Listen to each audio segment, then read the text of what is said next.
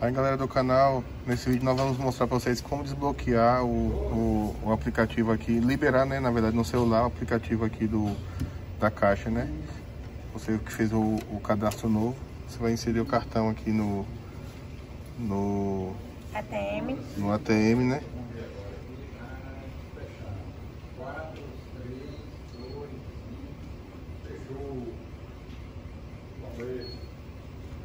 Agora vai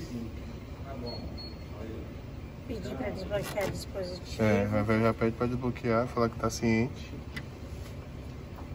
A senha aqui é do cartão da pessoa. Aí quando pede a senha, a senha do cartão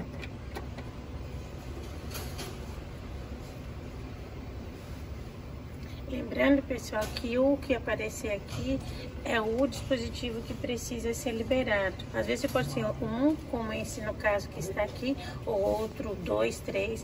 Pode ser tanto celular, né, quanto também computador. Se aí você só vê que... que... é o mesmo celular que você está usando, né? Exatamente. Ou se você, o celular que eventualmente você cadastrou, você escolhe, no caso nosso é esse.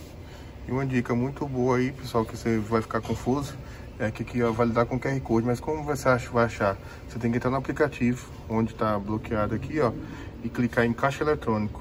Aí onde que você clicar caixa eletrônico, vai dar a opção você ler o QR Code aqui embaixo, né? Então você vem aqui aperta para ler QR Code, né? Validar com QR Code. Aí você vem aqui no celular, ó, ler QR Code. Aí sim, ó, só assim você vai ler o QR Code pelo seu celular, né, que você está querendo ativar.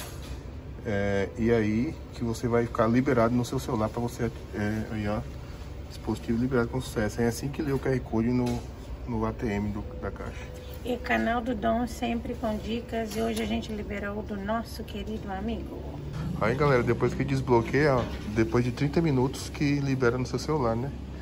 Então é isso.